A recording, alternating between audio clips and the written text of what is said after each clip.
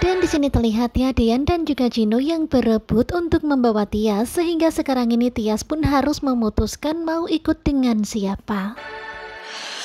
Dan pastinya sekarang ini Tias itu bingung banget ya mau ikut Dian atau Jino. Tetapi pada akhirnya Tias pun memilih untuk ikut sama Dian. Saya ikut. Dan pastinya yang dipikirkan oleh Tias adalah karena Dian adalah suaminya dan sudah seharusnya Tias ikut dengan suaminya. Tetapi terlihat ya Tias itu sedih banget. Tetapi kemudian Tias pun mengajukan sebuah syarat kepada Dian. Dia mau ikut sama Dian asalkan nggak pulang ke rumah Tante Bulan. Karena pastinya Tias itu nggak mau ya bertemu dengan Tante Bulan, Hani dan juga Abel yang selalu saja memojokkannya dan selalu menekannya. Saya akan bawa kamu ke rumah. Kemudian Dian pun berusaha menenangkan Tias dan dia mengatakan kalau Dian nggak akan membawa Tias dan juga Bu Yuni pulang ke rumah Tante Bulan. Dan tentu saja Tias pun lega.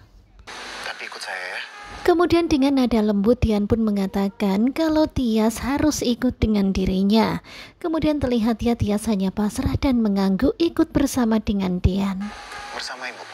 Dan sekarang ini benar-benar ya suasana hati mereka semuanya lagi kacau. Terlihat Cino yang hanya bisa pasrah dengan keputusan Tias.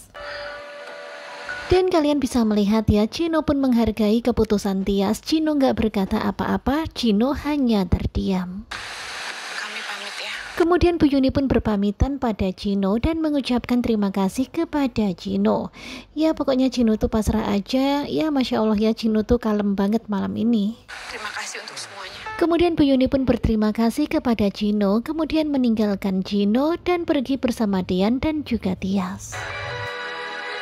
Dan tentu saja di sini Tias itu sebenarnya nggak enak hati juga sama Jino. Terlihat ya Tias memandang ke arah Jino sebelum dia masuk ke dalam mobil Dian.